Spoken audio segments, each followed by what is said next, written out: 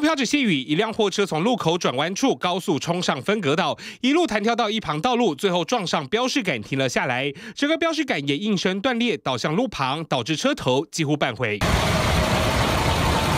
警方立即通知吊车，把发生事故的货车脱离现场。事情发生在十六号上午十一点二十五分，这辆运猪的货车在返程途中发生这起意外，所幸驾驶只有受到轻伤。灰尘对不对？所以没有注意就对，闪车了，没有注意了，嘿，哦，啊就直接冲过来。哎呀，对对，他人人还好吧？人没有怎么样啊，嘿。事故发生之后，除了赶紧派遣拖吊车把肇事的小货车脱离现场之外，公路局人员也赶紧到场，把撞断的标示杆移往路边，并且拆卸底座，要赶快换上新的路标。免得影响更多用路人。警方到场也针对货车驾驶进行检测。因为车车速过快哦，撞击这个分隔岛的这个标志杆哦，造成这个驾驶的受伤。